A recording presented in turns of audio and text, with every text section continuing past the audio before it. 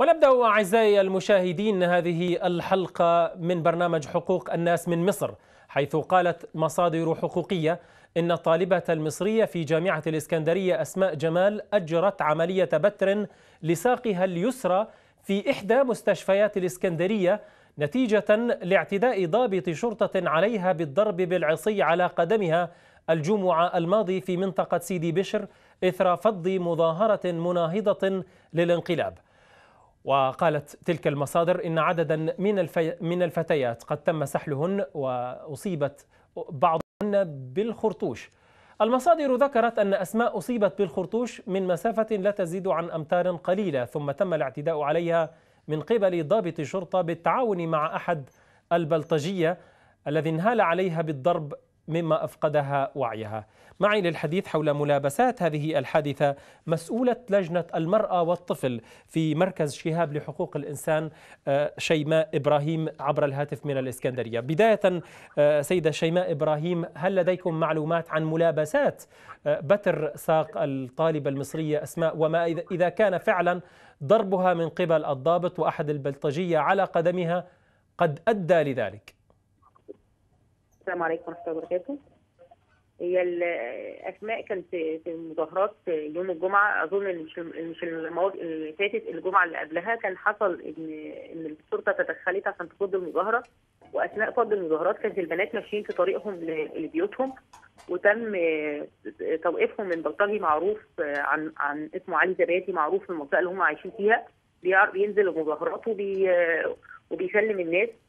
فشاف البنات وعرف إن هم كانوا ماشيين في مظاهرات فاعتدوا عليهم مجموعة من البلطجية فضلوا يضربوا فيهم لحد ما جت الشرطة وضربت خرطوش على البنات وكانت منهم أسماء ضربت بالخرطوش على مسافه قريبة في رجليها ومن يوميها وهي بتتعالج في المستشفى بعد بعد ما اتضربت على رجليها الضابط قال لها هكسحك هكسرك رجلك عشان ما ترجعيش تمشي في مظاهرات تاني فضل يضربها بالعصاية على رجليها هو.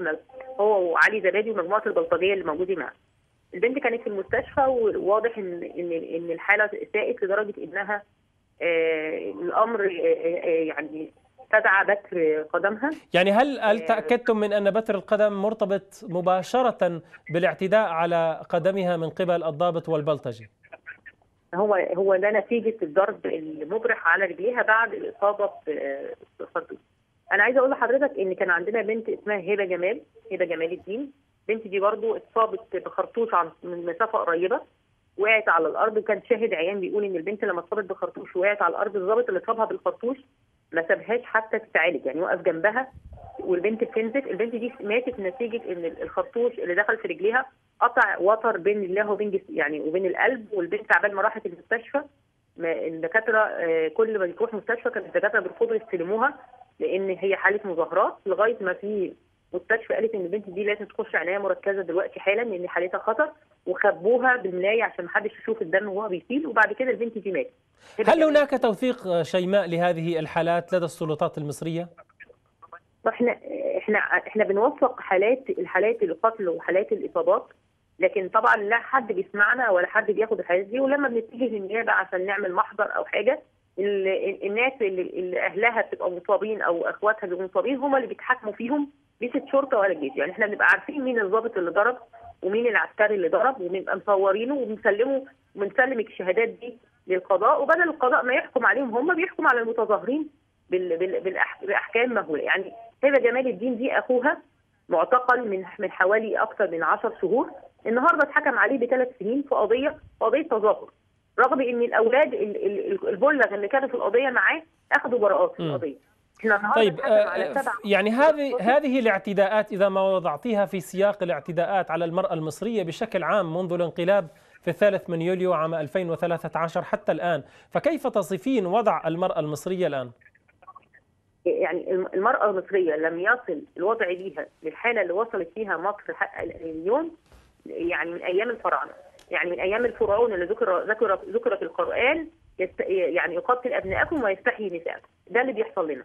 تقتيل أبناء واستحياء للنساء وقتل وقتل النساء في الشوارع بدم بارد واعتداء على النساء واعتداء على على مصريات في الشوارع بدم بارد. وفي مباركة غير طبيعية من من من شعب الانقلاب للحاله دي. إن دلوقتي ما بقاش بس الضابط ولا الشرطة اللي بتعتدي على المرأة ده كمان جيران وأصحاب بيعتدوا عليهم. وإحنا في يعني في حالة من يعني الاستهتار بحقوق المرأة وتطلع ميرفت التلاوي المفروض إنها مسؤولة عن حقوق المرأة في مصر تقول لك البنات في السجن مستريحين أكثر من من بره طيب ختاما شيماء أنقل لك هذا الخبر العاجل حيث قالت مصادر صحفية إن المحكمة العليا الفرنسية قد قبلت دعوا ضد عبد الفتاح السيسي بارتكابه جرائم حرب. وهذا يتزامن مع زيارة زيارة عبد الفتاح السيسي لفرنسا. كيف تعلقون أنتم كنشطاء لحقوق إنسان على هذا الخبر؟ هو إحنا مش عايزين نهلل ولا ولا نكبر لشيء إلا ما نشوفه بعينينا. يعني ال يعني الدول دي استقبلت عبد الفتاح السيسي سواء أمريكا أو فرنسا أو إيطاليا رغم إن الجاليات المصرية تسب وتشتمه هناك في في فرنسا وإيطاليا. أنا أتمنى اتمنى ان عبد الفتاح السيسي يلقى القبض عليه في في فرنسا دلوقتي بما إن الجنائية الدولية قبلت الجنائية في فرنسا قبلت إن هي تعتبره كمجرم حرب وانه يتم القبض عليه هناك. وأي مسؤول مصري بيوضع في هذا الوضع المفروض إن مرفوع قضايا دولية عليهم المفروض إن هم يقبلوا يقبل يلقى القبض عليهم. أتمنى إن إحنا نشوف يعني العالم اللي بينادي بحقوق الإنسان سواء في أوروبا أو أمريكا يشوف حال الحالة اللي وصل لها المصريين. مفيش بنت مفيش ولد مفيش مرأة مفيش رجل مفيش شيخ إلا ويصابوا المهزلة في مصر. أشكرك يعني شكرا جزيلا. مسؤولة ملف اللجن المرأة والطفل في مركز شهاب لحقوق الإنسان شيماء إبراهيم كنت معي عبر الهاتف من الإسكندرية.